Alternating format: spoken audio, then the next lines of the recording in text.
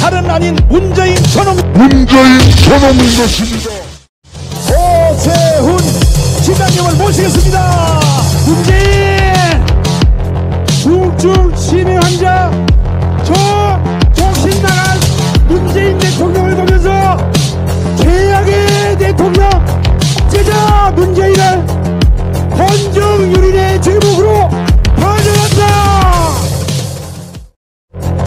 대통령 문재인을 대한민국 역사상 최악의 대통령 문재인을 국민의 이름으로 파괴한다. 모습을 보니까 북쪽에 있는 김정은은 오히려 북쪽의 동반자로 여기는 것이 아닌가 이제 오늘부로 대한민국은 반칙과 특권의 나라가 되었습니다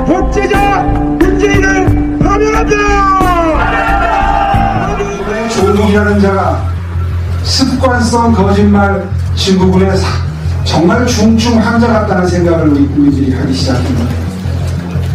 12년을 보면서 문재인 대통령도 거기에 버금가는 환자가 아닌가 하는 생각을 지울 수가 없습니다.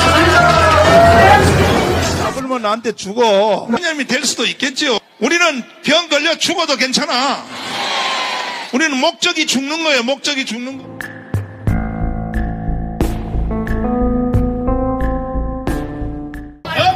집회 속에서도 바이러스 사건이 한 건도 없었습니다.